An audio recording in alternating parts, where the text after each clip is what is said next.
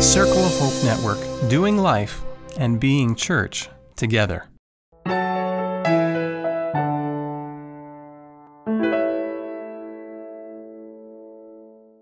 Good morning, beloved. Happy Sabbath. I believe God has been good to us. Not only has He been with us for the past, for those of us who have been here earlier, two weeks, and for those who came just for the camp meeting for the past week, and I believe He has been blessing us with lots of wonderful messages.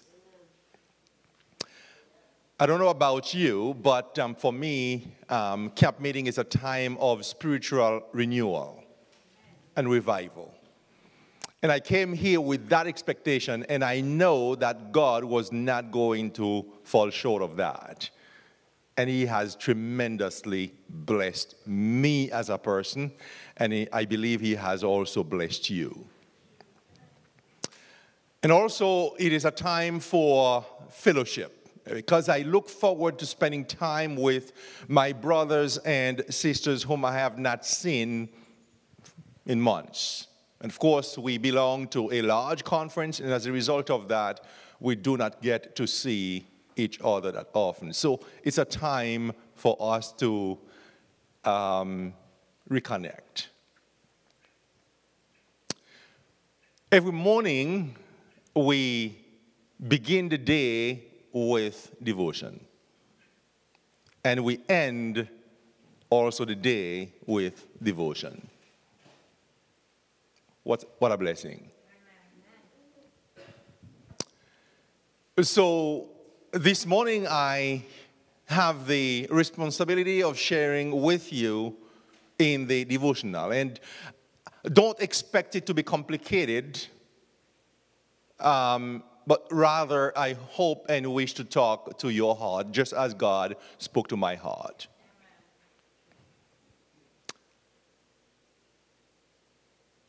So, what I would like to talk about this morning is something, in fact, I have gotten the title of my presentation this morning, the short devotional, from the text itself. And I have entitled it, In the Valley. In the Valley. So I believe most of us, if not all of us, we are quite well acquainted with Psalm 121. Psalm 121, and when you look at it, it says a psalm of degrees. And when you um, read uh, the psalm or psalms of degrees, you realize that they were written either by David or Solomon. And it was one of those Psalms that the children of Israel, on their pilgrimage um, to Jerusalem uh, to worship, that the fathers would have the responsibility of uh, teaching their children. And so the Psalms were written as a song and at the same time as a prayer.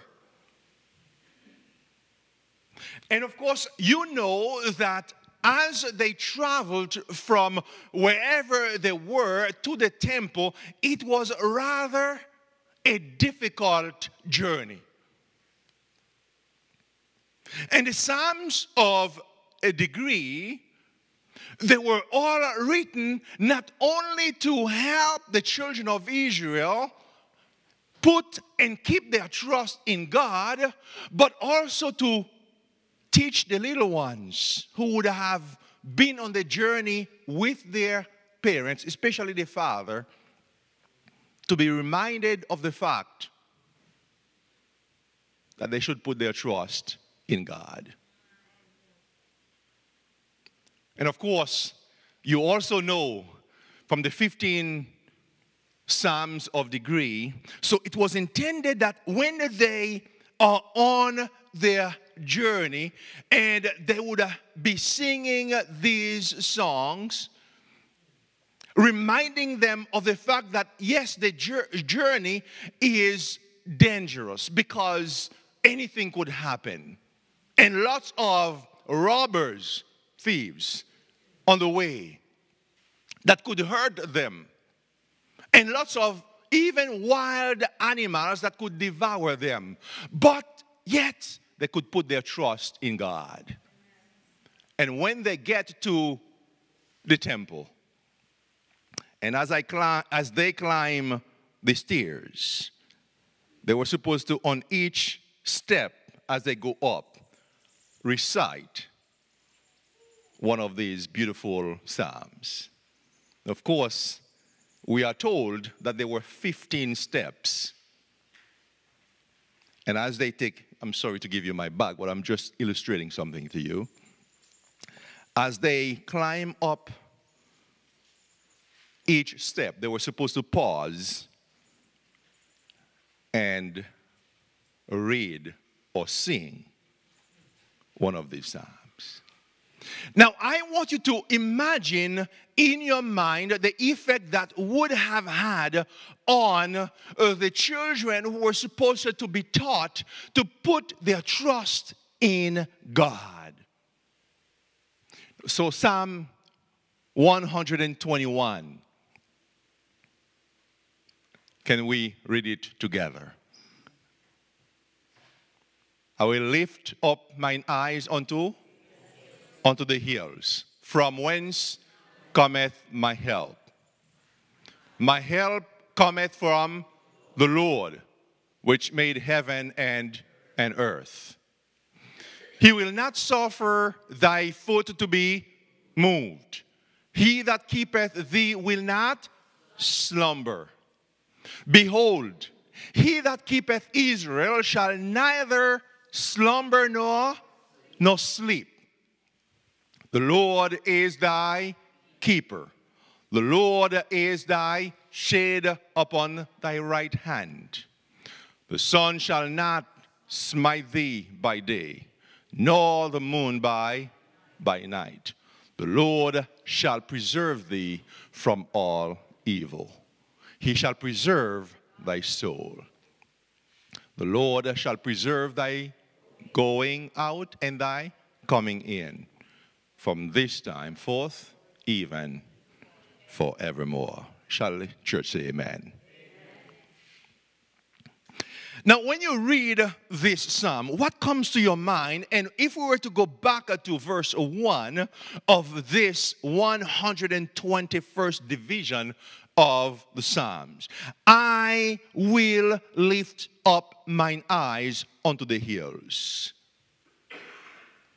So it gives us the sense that the writer was where? In the valley, in his journey. Hence, I entitled the presentation this morning, In the Valley. I will lift up mine eyes unto the hills, from whence cometh my help. So he was in the valley, and it appears as if in the valley it was not a pretty place to be. Exposed to all the elements of nature from all angles. But yet, while he was in the valley, he had the courage to be able to look up but to, to the Lord. From whence cometh my help. Now, as I am here, I'm going to pause to ask you a question, a question. Are you in the valley? Now, I would really like, if in case you are in the valley, in the valley of your own circumstances, to pause and lift up your eyes where? Onto the hills. Because when you lift up your eyes onto the hills, there is some form of security that comes because when you are in the valley, in as much as it might be difficult, in as much as you might be exposed to the elements, but the fact that the hills that surround you are there to not only fortify you, but also to protect you and preserve you from the elements because the hills are much higher than the valley. Hence, when the hurricane comes, you are protected. And from, for those of us who are from the islands, and we know that during the summer months, when it, it is hurricane season. And you know for sure that while you are in the valley, it comes with its own demise. But when it is hurricane time, you know you are protected because the wind passes over you and protects you. So when you look up, as the wind from the hurricane is blowing, when you see the damage that the wind is causing, but at the same time, your eyes are fixed on the hill because that's where your protection comes from.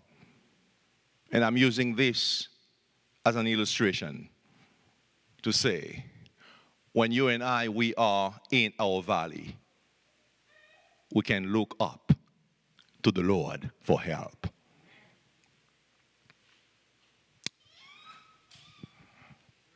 Are you in a valley? And in your own valley,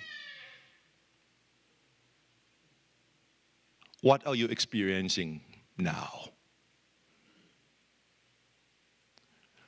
Your own valley could be some health challenges.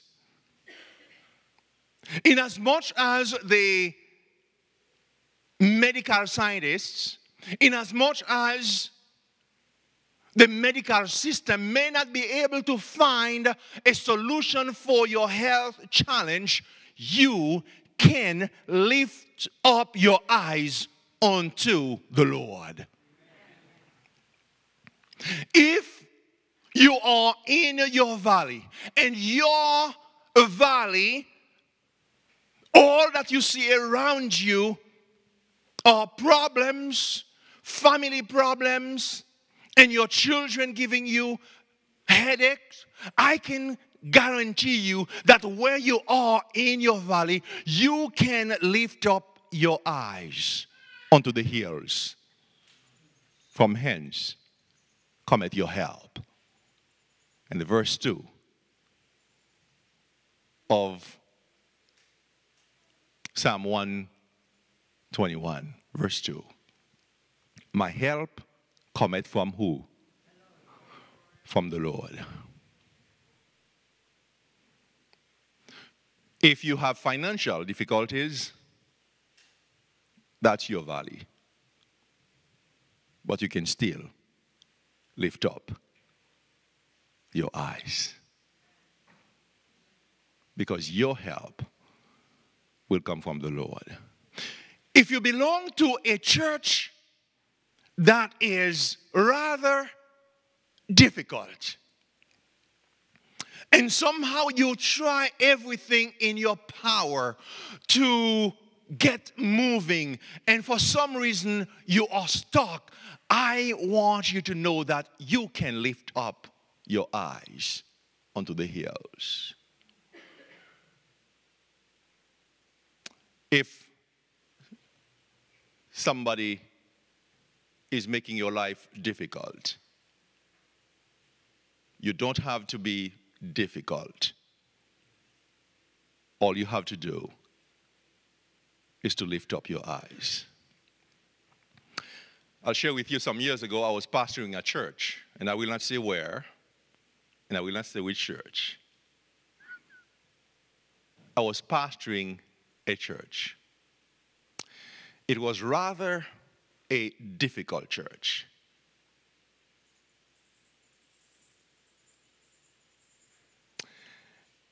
The each time I was going to have a board meeting, to be honest with you, I would be so overwhelmed because it was extremely difficult. The fight between the members, and I, I recall once a fight nearly broke out between some members. And I recall once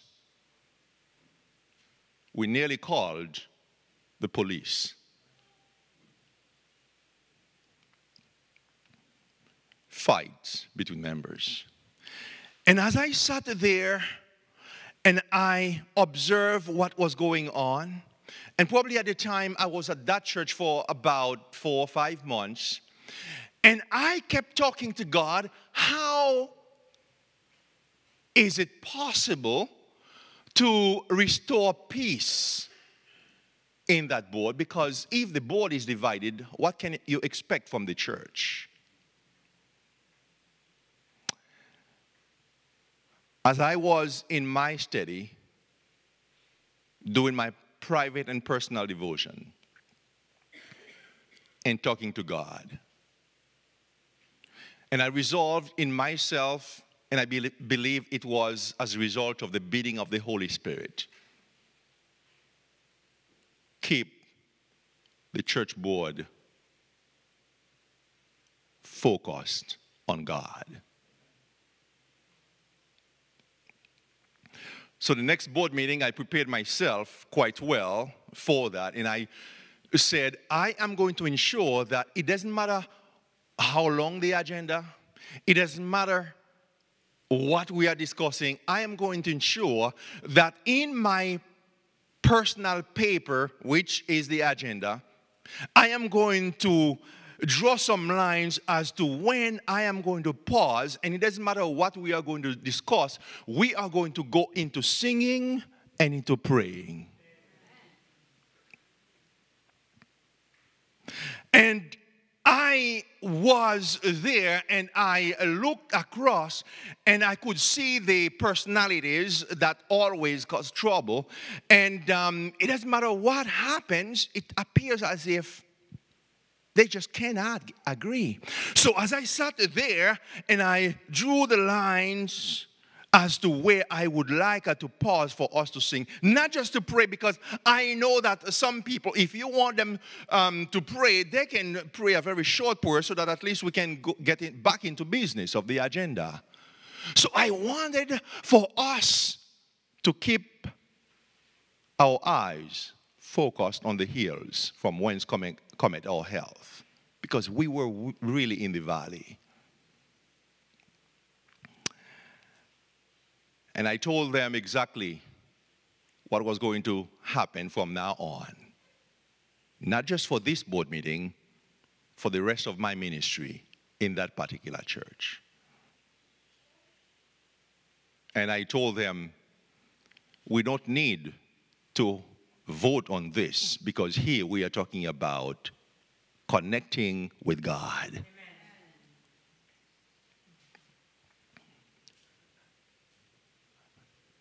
for the first time in my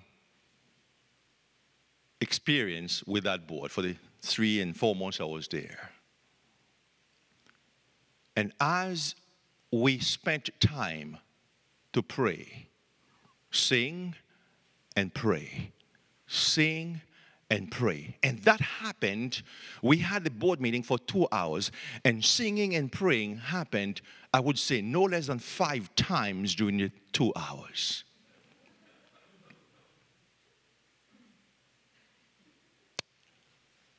At the end, I realized for the first time there was no fighting. It's like the Holy Spirit got a grip of everyone and subdued everyone. Not only was there any fighting in that board meeting, but we finished the agenda much earlier. Instead of two hours, in about one hour and 20 minutes, we were done.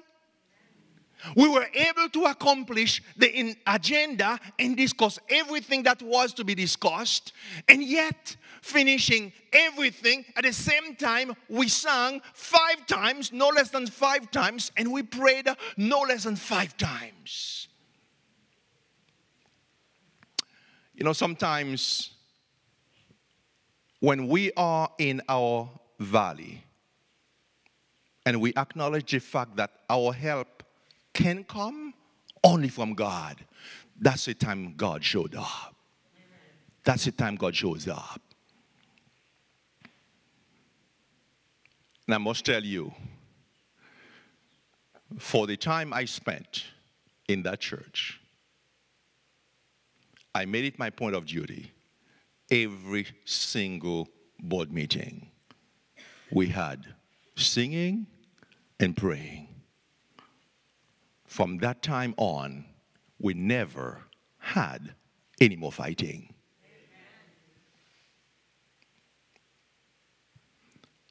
And sometimes people would come and say, Pastor, what happened? What did you do? It was not me, it was God. In fact, at my current church, the Silver Heights Seventh Adventist Church, and I'll tell you this if you are a pastor, this is a church you need to pray to God to give you the privilege to pastor that church. It's a beautiful church. It's a lovely church. Lovely people.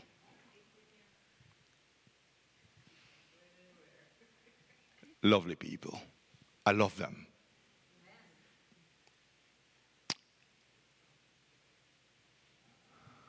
I have said to my church, not only to the church board, but also to the church at large, we are going to conquer Winnipeg on our knees. And the Silver Heights Seventh day Adventist Church must be known as a church that prays.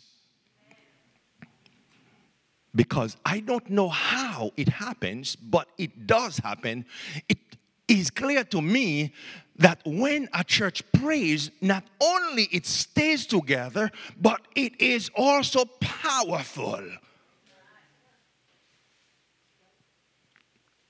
It was not too long ago I was having a board meeting, and it appeared as if Satan was trying to find his way in.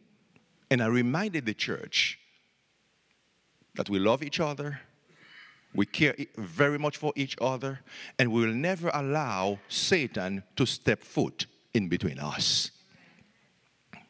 And we are supporting each other. We're going to love each other. We're going to pray together. And right there in the middle of the board meeting, we just go into singing and into praying.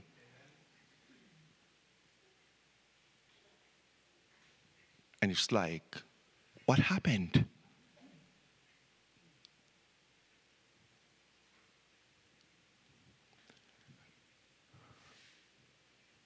As I told you in my presentation,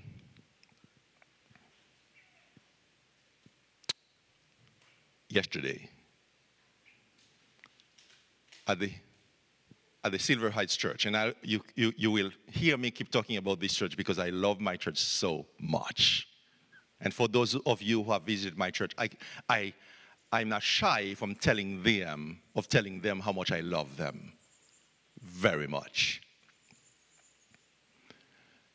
Every year, for the past two and a half years I've been here, last January was the second one, we begin the year with a 40 days of prayer. 40 days of prayer. From January 1 to February 9th. And I've told them, as long as your beloved pastor, that's what I address them, your beloved pastor is your pastor, we are going to begin the year with God. And when I when we started, every single day we pray for something. And we use the book 40 Days of Prayer by Dennis Smith. There are so many different topics. And the whole church is praying. They buy their own books and they follow whatever. Recommend we pray at 6 in the morning and 6 in the evening.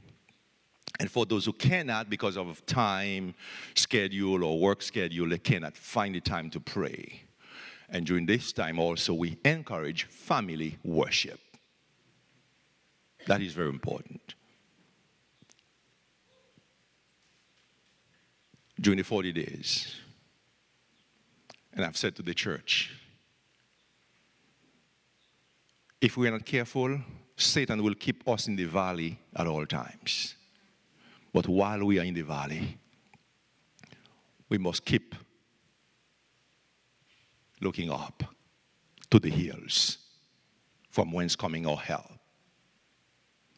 And during the 40 days, I've said to the church, no board meeting. Some people say, What? No board meeting. No. During the 40 days, no departmental meeting. No meeting. We are, we are a church that, that we are accustomed to board meetings or lots of meetings. And during the 40 days, no preaching. Wow. No preaching. So on Sabbath morning, for the divine service, no preaching. All we do as a church is to pray. Wow. And the elders and myself, we lead out in that. We have a reading from the book and we go into prayer. We sing and we go into prayer. For 40 days, for the six Sabbaths, six up, no preaching, no meeting, nothing. And all we do is to pray. And I encourage the folks who have their own issues, whatever those issues may be, just talk to God about it. And we'll see after the 40 days how we feel. And I can tell you right now, from the youngest to the oldest or eldest in my church, they'll tell you the most rewarding and memorable time of their life, during the year at least, is the 40 days. And during the 40 days, God shows up. He answers prayers. And most of the things that we have prayed for, either individually or corporately, as a church, we have prayed to God and asked God for, God has blessed us with them. So you're in the valley, in your valley. I would like to encourage you while you are in your own valley. Ask God to give you the courage to lift up your eyes onto the hills. Why? Because that's where your help is coming from. Do not believe that the solution to your problems will come from elsewhere. In fact, God may use medium to answer your prayer. But what he wants you to do is that while you are in your valley, you should ask him for the courage to lift up your eyes onto the hills. And that's where your help will be coming from.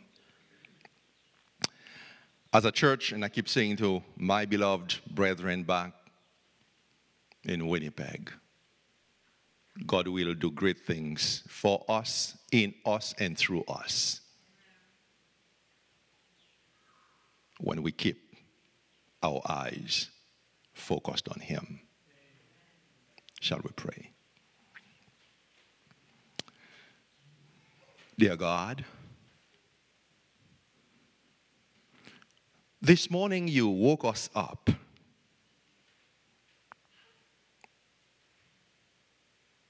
And you gave us the privilege to see this beautiful day.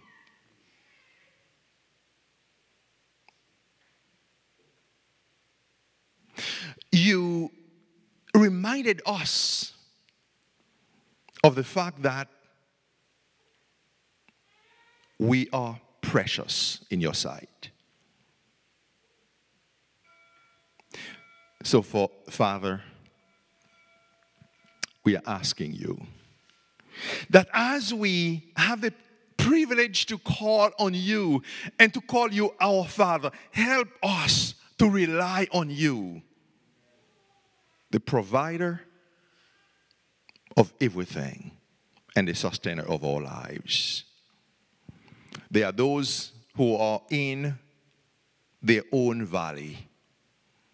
Help them to lift up their eyes onto the hills and knowing that their help will come from you.